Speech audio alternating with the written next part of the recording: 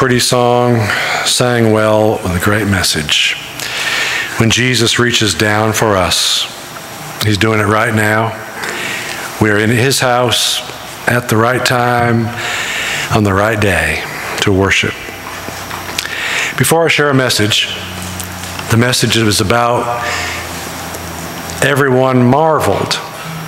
Surprise, a fourth sermon came after three. The fourth one, everyone marveled. Gerald Coomer saw a picture on Facebook. One of my clergy friends put on Facebook last week of Karen and I back in 1996 with all three children. And Gerald said, Brother Steve, you should put that on the screen. No, you really should put that on the screen. so I said, okay, Gerald, fair is fair.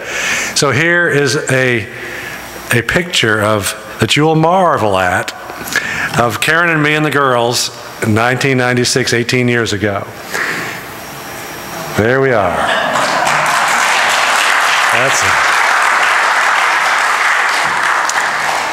That's quite a picture. Karen, look at those glasses, buddy. that's, that's enough. Take it off screen. that's good, Clint. Come on, Clint. Look it. All right. As we talk about marveling, uh, Let's look into the scriptures about when the men marveled at Jesus when he calmed the storm. If you'd stand, I want to read the account in two different Gospels from Matthew in chapter 8 and Mark in chapter 4. Actually, let me shift here. All right, let's see if that's working today. Buddy, you may have to give it a little more high EQ. I had to turn it down at a wedding, so it may need some highs in there. Okay, Matthew chapter 8, the account of the calming of the storm. Now, when he got into a boat, his disciples followed him.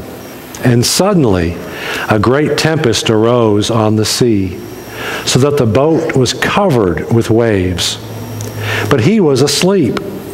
Then his disciples came to him and awoke him, saying, Lord, save us, we are perishing. But he said to them, Why are you so fearful? O you of little faith. Then he arose and rebuked the winds and the sea, and there was a great calm. So the men marveled, saying, Who can this be, that even the winds and the sea obey him? Now, Mark's account, chapter 4, 35 to 41. On the same day, when evening had come, he said to them, Let us cross over to the other side. Now, when they had left the multitude, they took him along in the boat as he was, and other little boats were also with them. And a great windstorm arose, and the waves beat into the boat, so that it was already filling. But he was in the stern, asleep on a pillow. And they awoke him and said to him, Teacher, do you not care that we are perishing? Then he arose and rebuked the wind and said to the sea, Peace, be still. And the wind ceased, and there was a great calm. But he said to them, Why are you so fearful? How is it that you have no faith? And they feared exceedingly and said to one another, Who can this be that even the wind and the sea obey him. This is the word of God for the people of God. Thanks be to God. You may be seated. Our last three messages have been for the body as we prepare to reach out to our community. Of course, we reach out every week and every Sunday, but we're particularly offering a five Sunday sermon series to the community. We have sent out the uh, postcards. Make this fall a season of hope. 5,000 of these. That's most of the Adair County addresses. The shirts make this season a season of hope, this fall a season of hope. We want to get the word out. Because as those, in those three messages, and then today, Clint, I've got these in, in, in the computer there. Everyone matters. Everyone matters. Everyone ministers, everyone magnifies, and everyone marvels. Everyone marvels at the work of Jesus today. He still works in our hearts today. And to be honest with you, when people see a person who is secure in God, they marvel. There's not a lot of security going around these days. There's a lot of insecurity and a lot of instability. From ISIS to Ebola to financial issues to, to you name it. We are secure. We know the world is unstable. It's been unstable in Jesus' day. It became unstable the day Adam and Eve ate the fruit. But there is a hope, a security in Jesus. I'll come to that in a moment. The reason I picked out the Mark passage, the Matthew passage is the main one, because the New King James says, The men marveled, who can this be? The winds and the sea obey him. Women marvel also, but for God's reasons, He has picked out men to lead, to lead their homes, to lead in the church, and women can certainly lead too in both places. But He has called men. We have many men who serve and who lead. When men marvel, they go, that has to be pretty convincing. This convinced all the disciples. Pretty amazing. I picked out the Mark passage because it says, it quotes Jesus. Mark says, Jesus said, Let us cross over to the other side. Let's go from here to there. And so I lift out of that text, let us cross over also. Let us, as a Trinity Church, cross over over the next five weeks of sermons, cross over in at least these different ways. Clint has a slide for this from anger to peace. That's not easy. From fear to faith. There's a lot of fear, and yet faith, a little faith, goes a long way. From troubled to trusting. From shaken to secure. From helpless to hope. To a biblical hope. Not a, a, Webster dictionary hope that says a condition that may happen or a circumstance that might come about. No. Biblical hope is a confident assurance of God's help, a secure trust in God's good plan. Biblical hope stands in our heart even when we don't feel it, when we feel like things aren't happening right. We trust our hope is secure in God.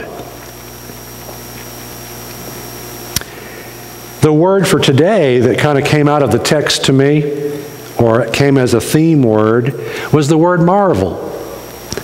So I want to look that up in the Greek. What, what does that specifically mean? I understand marvel when we go, wow, that's amazing.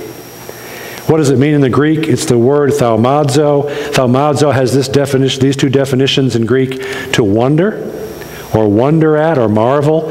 You might thaumazo at a sunset. Just wonder at it. It means to be wondered at and to be held in admiration.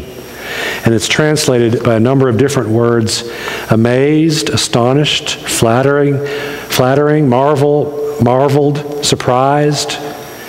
And it's used different, different times in the New Testament. This, let's look at this word where it's used. Clint, there's a screen there throughout the New Testament books. It shows us where thaumazo is used.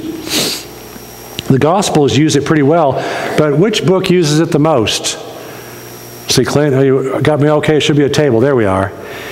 Which book uses marvel or amaze the most? Luke. 13 times. And I tell you, a few of those times are in Luke 1 and Luke 2 when Zechariah takes the pen and writes John, the crowd was amazed. When the shepherds came in from the fields and told their account, they were amazed. They were they marveled. So throughout the 43 times this word is used, that people marveled at the works of God. And of course, at many other times they would be use different words to show their wonder and amazement. But this is the kind of God we serve, who does things that are amazing. It's easy when we see something physical happen. It's harder when we realize that something spiritual is happening. It's harder when we sing Amazing Grace because that's in the heart. But as we still marvel when we see that change on someone's face. All right, let me dig in. Let me give you three things that when Jesus did these things, the people marveled. I can't sum up the whole New Testament, but I picked out three things where the Bible says that the people marveled. Number one, when he commanded his creation, they marveled. When he commanded creation. We know in one account, Jesus commanded the fish to fill the net. He hollered out off the shore to Peter. They came up dry, empty on one side. He said, Throw your net to the other side. All right, Lord. They throw it over there and they fill, fill the nets full of fish. Jesus commanded the creation, commanded the fish. He commanded the bread to multiply to 5,000 families and to 4,000 families. He commanded a fish to bring a coin. He commanded the water to turn to wine. Why do we worry about the creation? The Creator commands it, and He still commands it. Let me share also at this point about the creation. We experience the waves like the disciples experienced the waves hitting the boat. We experience waves of blessing and waves of trouble. Now, behind the waves that hit the boat is the wind. Jesus rebuked the wind, the wind stopped, and if you've been out on the lake, if the wind stops, what happens to the waves? Whoosh, flat. The Bible says in both gospel accounts there was a great calm. That means there wasn't a wave one. That water was like glass. Behind the waves that hit us, the good waves and the bad waves, is a wind. Not a wind we can see, not a wind you can measure. But behind a lot of these waves is the wind of the Holy Spirit. In John chapter 3, Jesus called or compared the Spirit to wind. The Spirit moving and causing circumstances that are a blessing and they wash over us. Oh, Lord, keep that coming. Keep it coming. Wisdom and compassion and love and joy. Oh, that's sweet. Keep it coming. But there's another source of these waves Satan. Not every wave, but a number of waves will come at us from our enemy and they'll wash over us and bring trouble. They'll bring fear, they'll bring sadness, they'll bring despair, they'll bring pride, they'll bring anger and rages of anger. And you just want to shake that off, get that off of me. But behind these circumstances is a wind. We want to know who, who is it? Is it God? Lord, please bring it on. If it's Satan, command it to stop. Did you know that you can command Satan to stop? You can. You ever have a bunch of really junky lies come into your head? It may be your own selfishness and your own fallenness, but it may be what's called lying spirits talking to you, lying to you, doing the very thing that Satan does best lying. You can command them to stop. Just as Jesus rebuked this wind, you can rebuke the enemy. Stop in the name of the Lord Jesus. And you will feel the change. In, wasn't 96, but it was 90, in 92, a bunch of thoughts in my head was convincing me we'd be moving at, in our second year. Oh, we're moving. Patty, we'd be moving. I wouldn't see at conference. I'd be in a different church. Uh, we're moving at year two. And at that point, God was teaching me to just tell the enemy the way it is. So I commanded these lying thoughts to stop in the name of Jesus, and they stopped. Long enough for me to sense from the Holy Spirit, no, you'll be here seven years. This isn't here, it's somewhere else. But it stopped all that dark rubbish long enough for me to hear from the Holy Spirit the truth, and we were there seven years. And then it was time to move. So this, there's, there's real authority that Jesus gives to us. But he is the first to command the creation. I'll get to the rest later. Um, let me read this to you. In Matthew 21, 19 and 20. Another creation story. And seeing a fig tree by the road, he came to it and found nothing on it but leaves, and said to it, Excuse me, let no fruit grow on you ever again. Immediately the fig tree withered, withered away. When the disciples saw it, they marveled, saying, How did the fig tree wither away so soon? You and I could cut that fig tree with a saw, and those leaves would still be green for a few days. Then they'd curl and dry up. That fig tree withered right in front of them. Once again, the man marveled, Wow, who is this that can command trees to wither?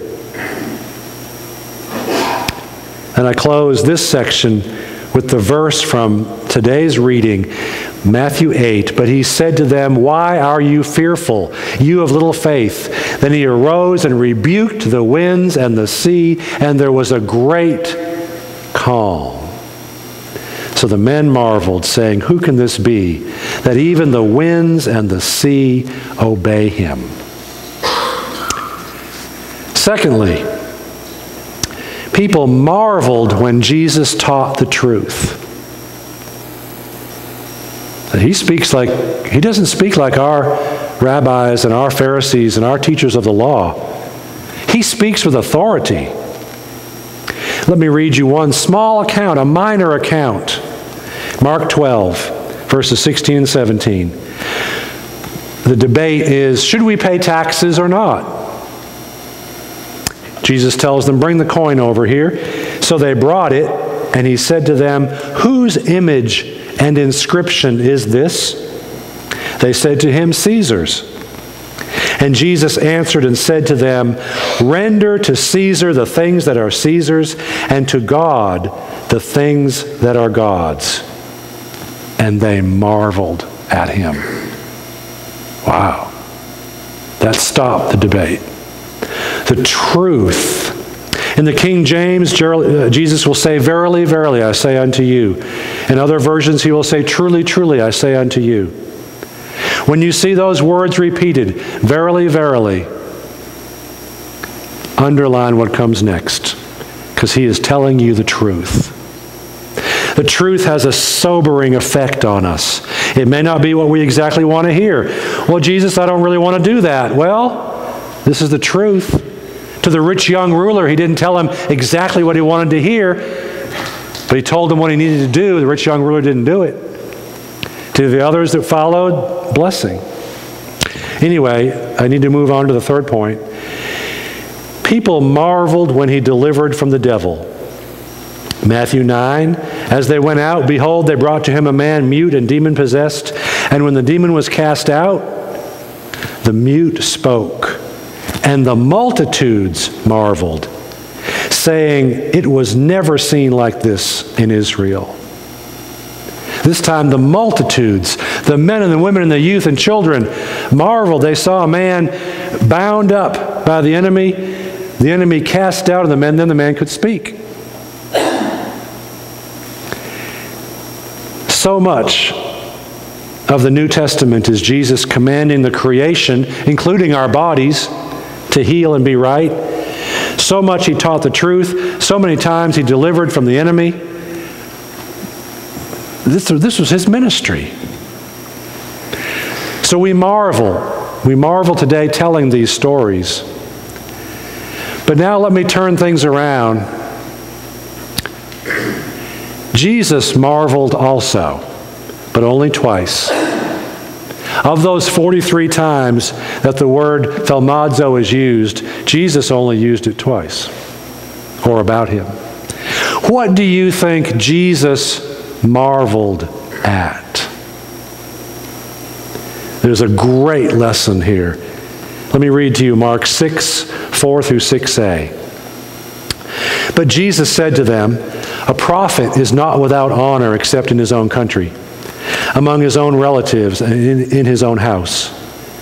Now he could do no mighty work there, he's in Nazareth, except that he laid his hands on a few sick people and healed them. And he marveled because of their unbelief. Let me read you the other time this word is used in regards to Jesus, the New Testament. Matthew 8, 8 through 10. The centurion answered and said, Lord, I am not worthy that you should come under my roof, but only speak a word, and my servant will be healed. For I also am a man under authority, having soldiers under me. And I say to this one, Go, and he goes, and to another, Come, and he comes, and to my servant, Do this, and he does it.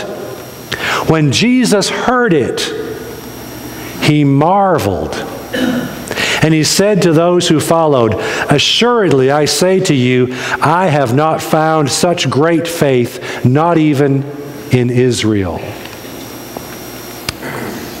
Jesus marveled in regards to faith. Either you don't have it or you have it.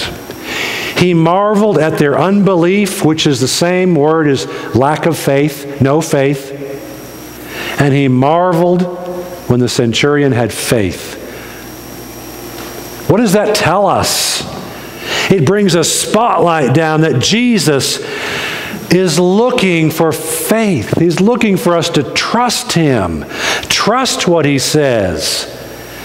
Because that's when He marvels. That's when He is amazed and He wonders, is in wonder, when we have faith to trust Him. Jesus was looking for faith, for belief in him and in his word. The centurion had great faith. The people in Nazareth had no faith. The disciples in the boat had little faith. Guess what Jesus also said after the fig tree? You might have thought, Brother Steve, you're being kind of boring and redundant with this creation thing. But there's more to that fig tree story. Listen to the passage that follows what I already read you Matthew 21 21. So Jesus answered and said to them, Assuredly, I say to you, if you have faith and do not doubt, you will not only do what was done to the fig tree, but also you will say to this mountain, Be removed and be cast into the sea, and it will be done. You and I could shrivel fig trees or maple trees or oak trees if we needed to. Faith, faith. And you know that. I, I, you know that. You know, last week I turned the pulpit around for the contemporary service, put it towards the choir, and the, the fellows came from London to, to give us a bid on the, the pew coverings. And the first thing he said to me was, Hey, that's pretty good. You're preaching to the choir. I said, and you're pretty witty. So that was, that was pretty good. But now I'm turned around facing you all, but you know this too. That faith is what, where it happens. Sandy, wherever you got that little packet on the mustard seed, I got it here in my Bible. Someone at the farmer's market gives out these uh, mustard seeds with a scripture from Matthew 17 10. If you have faith as a mustard seed, Say to this tree, be uprooted and throw yourself in the sea. Say to this mountain, throw yourself in the sea. It'll obey you. Are we worried about trees and mountains? Not particularly. Are we, are we worried about sin and guilt and shame? Yes. Are we concerned with our Adair County brothers and sisters that aren't in Christ or they're not close to Christ? Are we concerned about them? Yes. Do we want them to have a season of hope? Yes. Will you bring them a card, bring them a t shirt, send them an invitation, give them a phone call? Would you ask the people that are not in Christ or are not in church, would you ask them to come? Please. You know them. You know, you know all of them. Karen and I walk around, we don't know anybody but you all. But you know them. and they know you, and you represent the Lord well. Ask them to come. You know, as we go into to get into the boat to cross over, we're going to cross over. Last year we got in a boat in the fall, and by the time we reached the other shore, Summer Brown was our family ministry team leader, and Ashton Piles was our millennial ministry team leader because God spoke those two positions in the revival. He did other things too, I could, I could list for you. So I know this year He's going to do things that He wants to do. What? I don't know. He hasn't told me. Oh, I was part of a revival once, and the revival preacher said, on the first night of a four night revival, let's ask God for a hundred souls to be saved in this revival. And I sat in the pew and I said, I wouldn't do that. And you might say to me, Well, where is your faith? And I might say, I don't know, I guess I'm a weakling. But I wouldn't say that to start a revival. What if one person or seven people are converted? What if we fell 93 people short of our goal? I'm going to rejoice over the seven or over the one. I'm going to let God do what God has planned to do.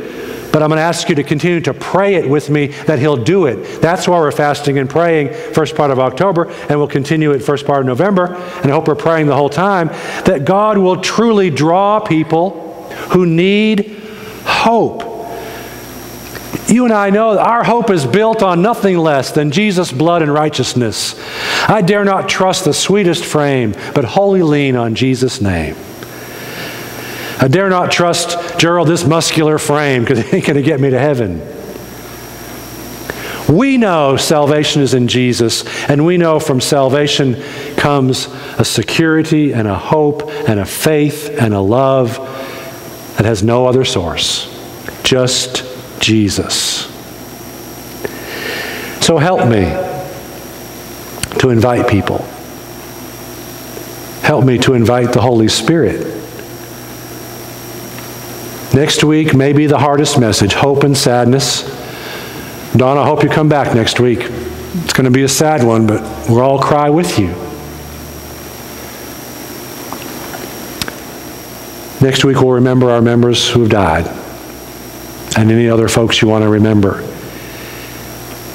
And we will have a hope in sadness, a secure assurance that the people that we have names for on that table are in heaven. And an assurance in our heart because we are in Christ, we will be in heaven one day too. It's not, I wonder if. No, it's, I just wonder when because I know I'm going. And you know you're going. I hope you know you're going. Hope. Would you share this with people and invite them to a security in Jesus Christ?